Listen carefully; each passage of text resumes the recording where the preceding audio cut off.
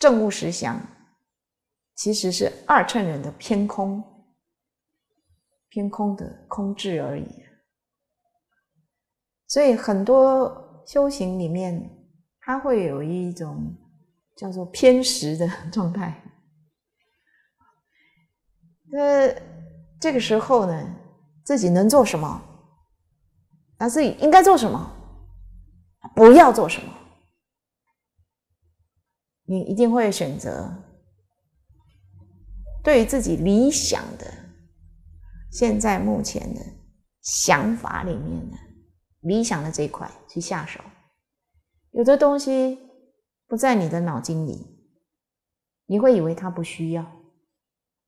所以在我们进入心经之前，我们还先提到，不是否认其他五度，而是强调六度，其他五度里面都有波雷，那这个五度都是齐头，我才能圆满的。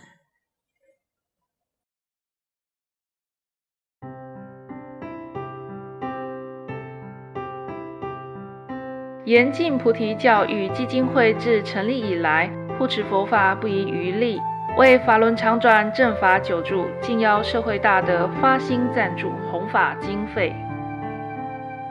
若蒙捐助善款，请汇邮政划拨账户账号二二七一八八零七二二七一八八零七，户名财团法人严禁菩提教育基金会。